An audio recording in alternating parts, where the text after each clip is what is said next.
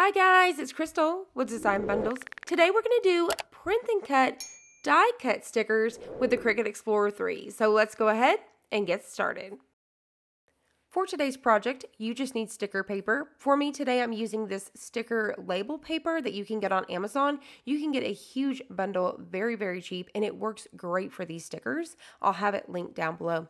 But you can use any sort of sticker paper that you have. I'm using my iPad along with my Cricut Explorer 3, and you're going to need a printer. So for this, I've already got my design in here. I'll have this link down below. This is one point if you guys are a plus member. And you want to size this down. I know a question for the Cricut Explorer 3 is, does it have a bigger area? And it does not. It's still the 6.75 by 9.25. So I've already sized this down and I've sent it to the printer. So here it is. You're going to have that nice black border all the way around and that's going to help the Cricut read so it knows right where to cut. Now, this file is perfectly because it's already ready lined up for you. It's just like this. It comes in and all you need to do is size it down. So what I'm going to go ahead and do is apply this to my mat. And the mat that you want to use is the blue one.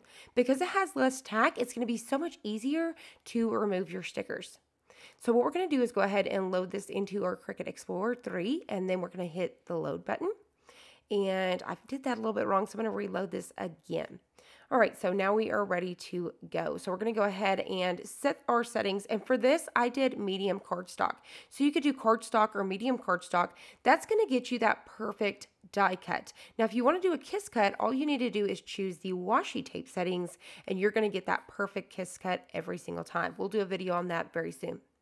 All right, so I'm going to go ahead and unload this and we're good to go. So you're going to see how easy this is. I'm simply going to pull away the extra on the side here and then you can just remove these with your hand or your little scraper tool or even your little weeding tool. So for me, I just like to take my weeding tool and just carefully go in here and pick these right off. How adorable is this sticker set? Now for me, this is great for back to school. You could stick this on your water bottles. You could, for a teacher, you could pass these out to the students.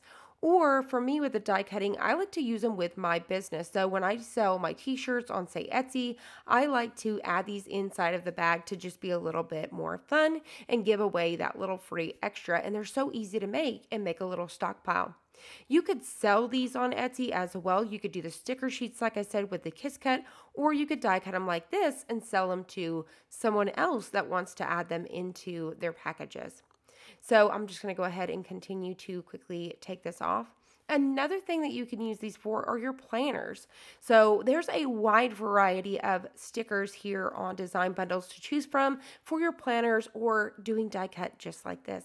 And that's it. How adorable are these stickers? I'm absolutely in love.